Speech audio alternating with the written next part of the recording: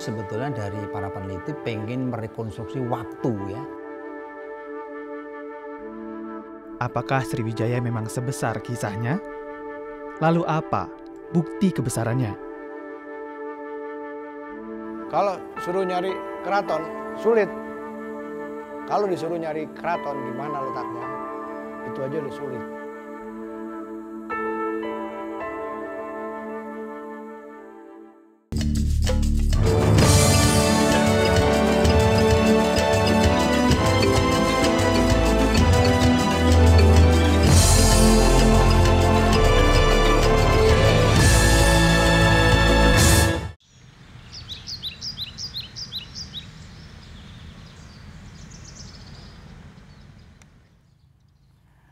Kerajaan Bahari Sriwijaya dikenal dengan kekuatan maritim yang cukup besar dan tangguh.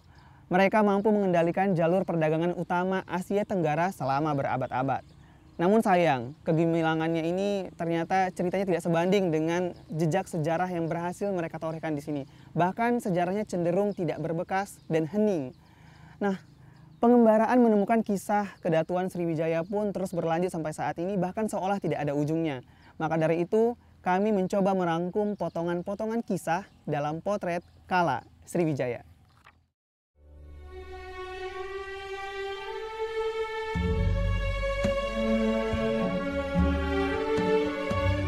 Masa kerajaan Sriwijaya berlangsung sejak abad ke-7 hingga awal abad ke-11 Masehi. Kerajaan ini besar karena kekuatannya yang mampu menduduki jalur perdagangan Selat Malaka, meliputi sebagian besar Pulau Sumatera, Pulau Jawa, dan sebagian lagi di Asia Tenggara. Sriwijaya hidup dari sektor pelayaran niaga dan bea cukai kapal asing. Didukung oleh armada dan pelaut yang tangguh, kerajaan Sriwijaya pun akhirnya dikenal sebagai kerajaan bahari termasyur kala itu. Karena keberadaan Sriwijaya, Palembang menjadi pelabuhan utama yang paling sibuk dan paling ramai, bahkan jadi gerbang pelayaran niaga untuk masuk menuju ke kawasan timur Nusantara. Tapi sayang, Palembang seolah merahasiakan dan menutup rapat-rapat kisah purna kerajaan Sriwijaya. Akhirnya muncul sebuah tanda tanya besar. Apakah Sriwijaya memang sebesar kisahnya? Lalu apa bukti kebesarannya?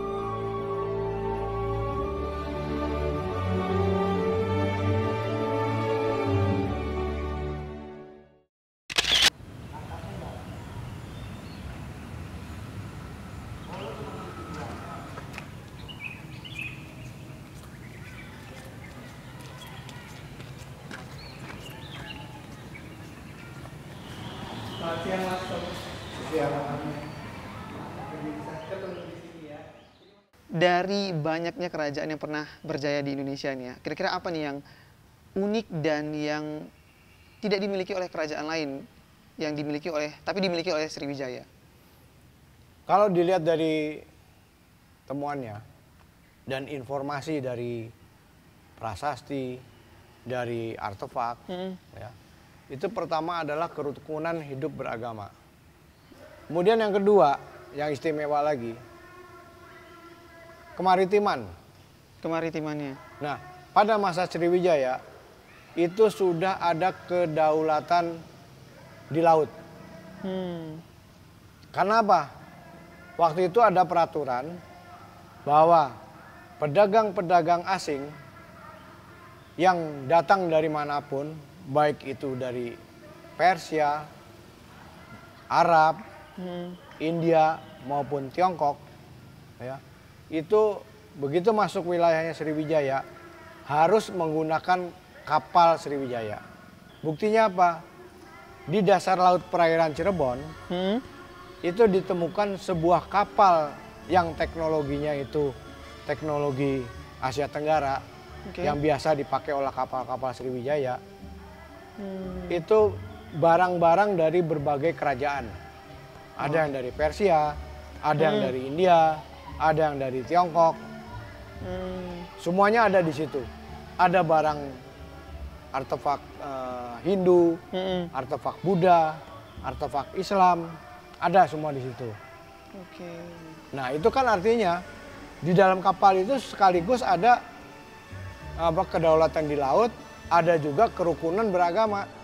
Seperti apa nih kira-kira gambaran untuk tata kota eh, kerajaan Sriwijaya pada saat itu, Mas? Sejak dia dibangun menjadi sebuah perkampungan yang hanya terdiri dari beberapa rumah, Mm-mm. sekarang ini eh, berkembang menjadi sebuah kota. Kemudian berkembang menjadi sebuah kota yang luasnya setengah dari kota Palembang sekarang. Ya. Setengah dari kota Palembang, tapi mengambil lokasi di sebelah utara Sungai Musi. Sebelah utara Sungai Musi. Nah, karena Oke. sebelah selatannya itu masih daerah rawa-rawa. Oke. Ya. Nah, pemukiman itu ada di pinggir-pinggir sungai. Jadi untuk sampai saat ini ya, itu seperti apa terus eh, penelitian yang dilakukan oleh eh, Balai Arkeologi Pusat maupun yang bersama dengan yang ada di Sumatera Selatan ini untuk mencari jejak-jejak keberadaan Sriwijaya lagi. Apa nih yang sekarang sedang difokuskan? Nah, ternyata pada tahun 1988 Mm-mm. itu kami menemukan indikator pemukiman di daerah rawa yang dulunya diduga merupakan laut. Oke. Itu di air Sugihan. Itu kita menemukan manik-manik, menemukan Keramik. apa namanya keramik keramik ya. dan barang-barang lain, barang-barang terakota. Oke. Nah itu dilakukan secara khusus oleh Balai Arkeologi. Sampai saat ini dilakukan. Sampai Sudah berapa ini. lama itu proses penelitiannya, Mas? Secara kontinu sejak tahun se- tahun 2000, Tahun 2000 ya. terus bersinambungan tiap-tiap tahun. Nah dari temuan arkeologi yang sudah Mas temukan ya sampai saat ini, karena kan juga sudah lama ini mencari jejak ke- keberadaan Sriwijaya. Apakah eh, memang belum ada satupun yang bisa menguatkan di mana letak keraton Sriwijaya sendiri? Kalau suruh nyari keraton sulit, Sulit karena ya? sekarang begini, yang datanya lebih banyak itu di runtuhan bekas ibu kota Majapahit di Trowulan. Hmm, Kalau disuruh nyari keraton di mana letaknya, itu aja udah sulit. sulit ya. Apalagi di sini, yang jejak-jejaknya itu nggak ada gitu loh. Tapi kalau untuk pusat kerajaannya itu Pusat sudah kerajaannya dipastikan di sini, dipastikan. di Palembang ya Mas ya. Nah, Kalau dilihat dari temuannya, di Palembang itu dari sekitar abad ke-7 sampai abad 9-10. Habis Hmm. gitu dia pindah lagi ke Jambi. Itu. Setelahnya berarti ke Jambi. Iya. Dan diduga runtuhnya berarti di mana Mas? Kan Mungkin runtuhnya di, Jambi. abad 13 kan? Di Jambi Kalau sudah keluar dari sini berarti Ah. mungkin bukan di sini berarti runtuhnya. Bukan, di Jambi. Oke.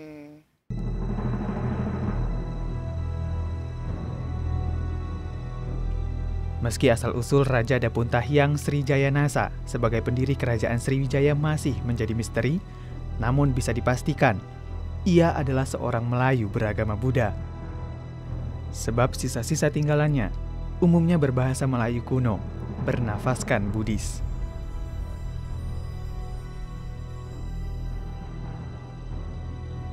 Maka anggapan pusat kerajaan Sriwijaya di Palembang berada di tepian Sungai Musi cukup diterima. Karena karakter budaya masyarakat Melayu membangun peradaban biasanya tidak jauh-jauh dari laut, pantai, rawa, atau tepian sungai. Dari kondisi alam Palembang dan ketersediaan material bangunannya, diduga berbentuk rumah panggung dan berbahan kayu.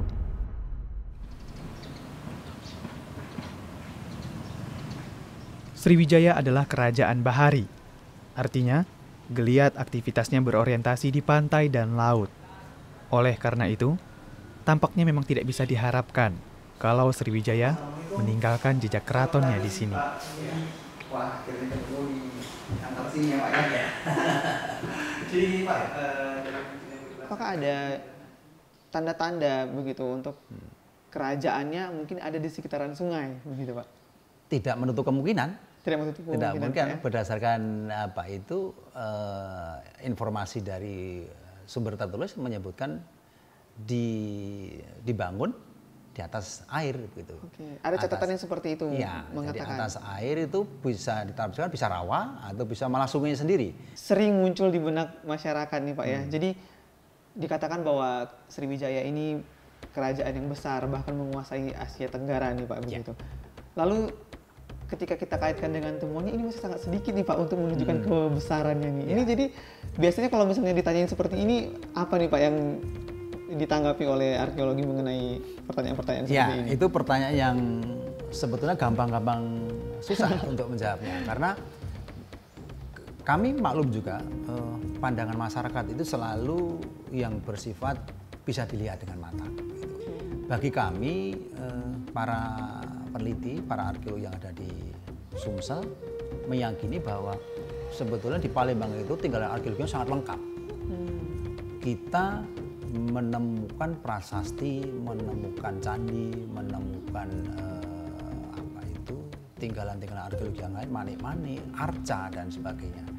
Yang mengindikasikan itu adanya Sriwijaya ada di situ. Gitu. Tapi itu mungkin bagi masyarakat belum cukup. Gitu. loh. Tapi bagi kami sebetulnya di di peneliti di arkeologi itu eh, tinggalan yang secuil pun itu sangat berarti. Gitu. loh. Jadi justru itu kita meskipun keterbatasan data justru itu mem- memacu kami untuk lebih giat me- mengadakan penelitian untuk merekonstruksi masa lalu yang sebetulnya masih perlu kita perjelas gitu ya. Nah, jadi motivasi tersendiri Ya, berarti motivasi Pak. tersendiri kami bagi sebetulnya bagi kami eh, data yang yang secuil pun nggak ada masalah gitu loh. Karena memang pekerjaan di arkeologi itu ya kita kan semacam detektif, kita itu semacam polisi gitu ya. Eh, tinggalan yang yang secuil pun harus kita paksa untuk bisa bicara. Gitu. Apa kendala selama ini dalam menyusuri ataupun mengembara nih mencari jejak-jejak keberadaan Sriwijaya sendiri? Ya, sebetulnya kalau dari tinggalan arkeologinya bagi kami cukup ya, cukup dalam arti sudah banyak data yang kami terkumpulkan. Cuma kami itu sebetulnya dari para peneliti pengen merekonstruksi waktu ya, waktu itu lebih lebih detail katakanlah begitu. Tapi juga kami mengalami kendala karena sumber-sumber tertulis yang ada di yang kita ketemukan itu sangat terbatas, hanya prasasti. Dan prasasti pun tidak banyak bisa dikatakan pun hanya dua tiga prasasti yang memang menunjukkan waktu ya. Bahkan tokoh-tokoh itu hanya terbatas sekali gitu. Ada dua tokoh yang bisa rekonstruksi dari Dapunta yang sampai Balaputra. Sementara data yang untuk mendukung itu sangat sangat terbatas. Ini ini sebenarnya bagi kami kendala, kendala untuk merekonstruksi dari segi waktunya. Tapi kita combine, kita gabungkan dengan tinggal-tinggal lain, misalnya temuan eh, keramik, tinggal arca, itu secara relatif kan kita bisa mengetahui kronologinya gitu ya. Tidak seperti kerajaan di Pulau Jawa, Sriwijaya tidak cukup lekat di hati masyarakat. Nyatanya, kata Sriwijaya yang tertulis di prasasti justru sempat dikira nama seorang raja. Awal abad ke-20, ini dikaji ulang oleh peneliti berkebangsaan Prancis, George Codes. Akhirnya, ia menyimpulkan bahwa kata Sriwijaya adalah sebuah nama kerajaan. Hal ini terkonfirmasi oleh sejumlah catatan dari Tiongkok, Arab, dan Thailand.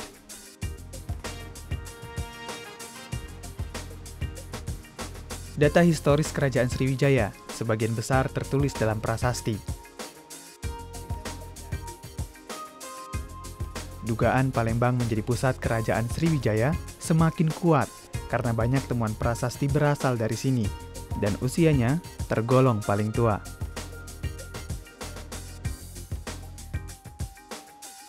Prasasti Kedukan Bukit tahun 682. Prasasti Talang Tuo tahun 684. Prasasti Telaga Batu, Bom Baru dan Kambang Unglen yang berdasarkan bentuk paleografinya berasal dari abad ke-7 Masehi. Informasi tentang lokasi pusat kerajaan Sriwijaya tertera pada prasasti tertua yang ditemukan di tepian Sungai Kedukan di Palembang, yakni Prasasti Kedukan Bukit.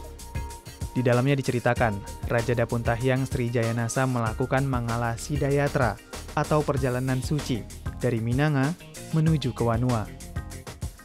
Berdasarkan tafsiran peneliti, Minanga bisa jadi daerah timur pantai Sumatera Selatan atau mungkin Jambi, dan Wanua adalah Palembang. Temuan arkeologis kerajaan Sriwijaya yang tersebar di luar Palembang sering kali membuat masyarakat latah. Ketika di daerah tersebut didapati tinggalan masa kerajaan Sriwijaya, lantas buru-buru masyarakat mengklaim ini pusat kerajaan Sriwijaya dan terkadang didukung oleh teori dan pendapat peneliti yang sifatnya orientalis. Tapi apa pun itu, Museum Sriwijaya ini adalah wujud kebanggaan Palembang sebagai bumi Sriwijaya. Museum ini menyimpan koleksi khusus yang berhubungan dengan kerajaan Sriwijaya, baik dari masa pra Sriwijaya hingga periode pasca Sriwijaya. Selain prasastinya, koleksi utama museum ini adalah kemudi kapal asli yang digunakan pada masa Sriwijaya.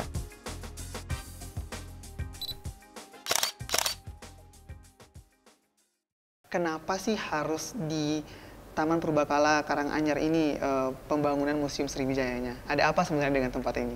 Uh, karena di situs Karanganyar ini sendiri itu banyak sekali ditemukan benda-benda peninggalan kerajaan Sriwijaya dan ini merupakan salah satu situs asli dari hmm. kerajaan Sriwijaya itu sendiri. Uh, makanya di situs ini tidak boleh diadakan bangunan-bangunan yang merusak bawah tanah karena okay. di bawah tanah itu kemungkinan masih ada koleksi-koleksi yang belum ditemukan. Benda apa nih yang paling kira-kira ikonik lah yang yang pernah ditemukan di daerah ini? Kalau benda-benda itu semuanya sama, bentuknya apa semuanya Mbak, bersejarah.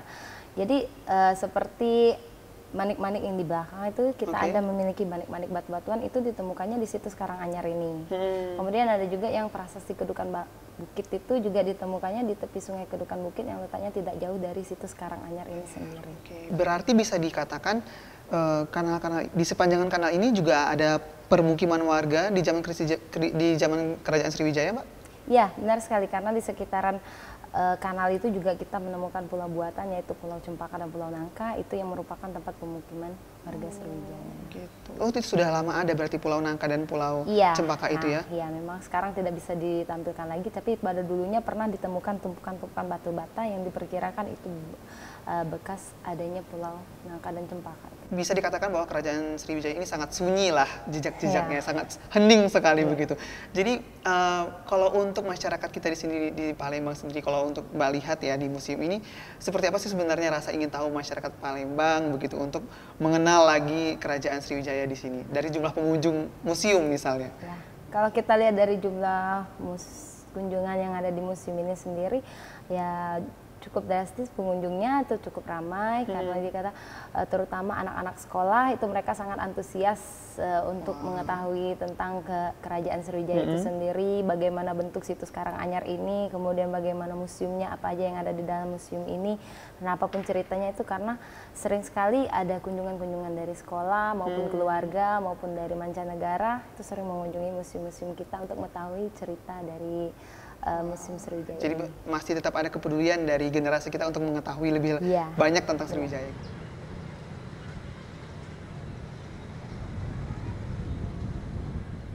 Berdasarkan informasi dari Prasasti Talang Tuo tahun 684, Dapun Tahyang Srijaya Nasa membangun Taman Sriksetra Taman tersebut kini dikenal sebagai situs Karanganyar atau Taman Purbakala Kerajaan Sriwijaya TPKS. Situs ini berlokasi tak jauh dari Sungai Musi, tepatnya di sebelah utara sungai. Petunjuk ini semakin menguatkan dugaan bahwa pusat kerajaan Sriwijaya tak jauh dari sungai. Sriksetra bukanlah sebuah taman indah yang dipenuhi tanaman hias. Sriksetra bisa digambarkan sebagai sebuah taman ekologis atau hutan luas yang ditanami berbagai pohon seperti kelapa, pinang, sagu, dan bambu. Semuanya sengaja ditata untuk menjaga kelestarian alam pusat kerajaan. Di situs ini juga banyak dijumpai artefak yang menunjukkan adanya sebuah aktivitas permukiman sehari-hari pada masa kerajaan Sriwijaya. Sriksetra sesungguhnya dibangun untuk kebahagiaan makhluk hidup. Laku ibadat Dapun Tahyang Srijaya Nasa untuk mendapat berkah Sang Buddha. Dengan hasrat suatu hari, ia juga akan menjadi Buddha, penyelamat manusia. Situs Karanganyar ini sendiri ternyata terbagi atas beberapa bagian. Jadi ada subsitus Karanganyar 1, 2, dan 3. Nah untuk Taman Purbakala Kerajaan Sriwijaya ini sendiri ternyata masuk ke dalam subsitus 1, eh, Karanganyar 1. Jadi yang merupakan juga subsitus yang paling besar. Nah ternyata dari ketiga subsitus ini itu dihubungkan oleh banyak kanal dan parit. Nah ini diduga sebagai jalur transportasi air pada masa itu untuk eh, memasuk kebutuhan dari yang datang dari pesisir untuk bisa dialirkan ke daerah pemukiman yang ada di sini. Selain itu juga ternyata karena ini difungsikan sebagai tempat uh, tumbuhnya tanaman komoditas pada saat itu, juga diduga uh, air-air ini bisa menjaga agar tumbuhan tetap uh, tumbuh sehat di sini. Lalu seperti apa kita akan cari tahu.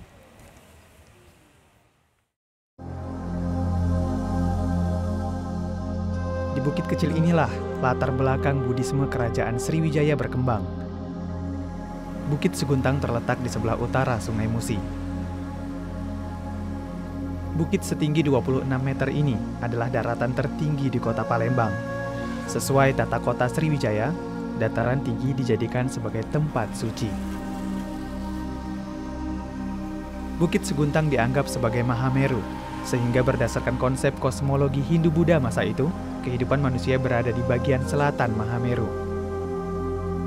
Dan daerah tersebut merujuk pada daerah tepian Sungai Musi lagi dan lagi. Ini menjadi petunjuk bahwa kehidupan masa Sriwijaya memang tak jauh dari Sungai Musi. Karena bukit ini merupakan situs keagamaan, maka tinggalannya berupa struktur bata bekas bangunan stupa, struktur bangunan bagian tempat pengelola keagamaan, dan yang fenomenal adalah patung Buddha setinggi hampir 3 meter dari masa Prasriwijaya, tepatnya di abad ke-6 prasasti terlengkap Telaga Batu menuturkan bahwa sistem pemerintahan dan organisasi kekuasaan Sriwijaya berbentuk kadatuan, artinya kumpulan para datu. Setiap datu memimpin mandala atau provinsinya masing-masing, dan Bumi Ayu adalah salah satu mandala Sriwijaya. Sebagai daerah pemasok komoditi hasil hutan, pertambangan, dan pertanian, kemakmuran Bumi Ayu bahkan melampaui daerah pusat kerajaannya Lalu di sini berkembang pula masyarakat yang memeluk agama Hindu, ditandai dari peninggalan komplek percandian dan sejumlah arca Hindu. Ini yang menjadi bukti toleransi umat beragama sangat tinggi di masa kerajaan Sriwijaya.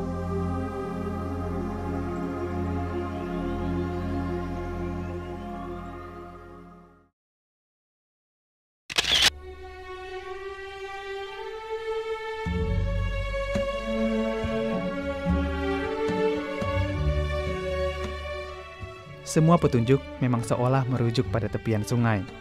Tapi faktanya, belum ada temuan sisa-sisa keraton Sriwijaya di sana.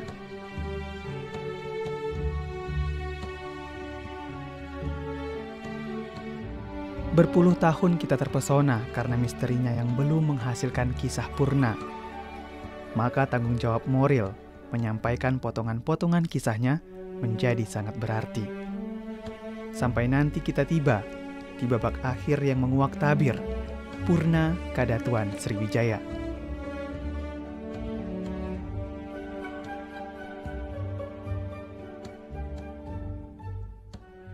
Selalu ingat, buka mata, hati, dan telinga, karena ada banyak nilai berharga yang bisa menjadi potret bagi masa depan kita. Sampai jumpa.